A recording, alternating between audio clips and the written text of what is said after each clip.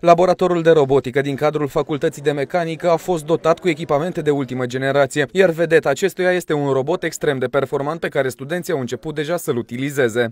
Robotul va prelua piesele în ordine consecutivă din, din loc, lăcașul alocat. Uh, ulterior le va pune pe conveyor uh, când senzorul de proximitate, cel portocaliu de acolo, va simți prezența piesei, conveiorul va începe să mute piesa mai departe până la următorul capăt al conveiorului, unde următorul senzor de proximitate ne va indica din nou prezența piesei acolo, uh, fapt ce va determina robotul să meargă, să preia piesa și să o pună la loc. Nu este singura modalitate în care robotul poate fi util, mai ales pentru sectorul pentru care a fost creat cel al industriei.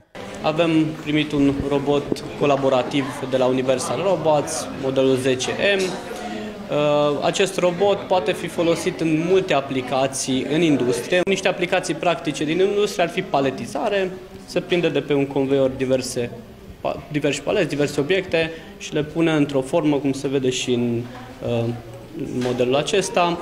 Eh, iar dacă schimbăm efectorul final, se pot face multe alte aplicații, de la uh, sudare, lipire sau multe alte uh, operațiuni industriale, totul depinde de efectorul final.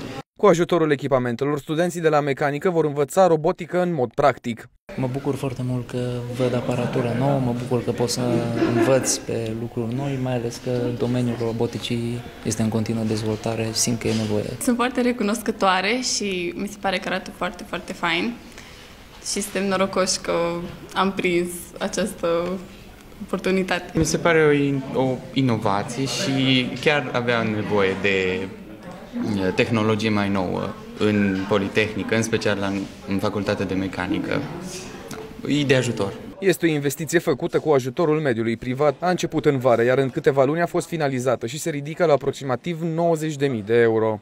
We want to support and we want to support especially uh, the new business, the long-term future in the business by having the right equipment in place at the university so that the education that is going in the same direction as the business and that we help um, to go in the future together. Eram surprins de investiția pe care o face, eram surprins de cum arată laboratorul, pentru că deși sunt decanul facultății de mecanică și puteam să vin să văd cum evoluează lucrările, n-am făcut-o. Acum am fost, uh, am intrat pentru prima dată în laborator și bineînțeles că sunt surprins de dotarea pe care au făcut-o și plăcut impresionat. Smart Robotics este denumirea noului laborator al Facultății de Mecanică, care este dedicat în special pregătirii practice a studenților care urmează cursurile de robotică.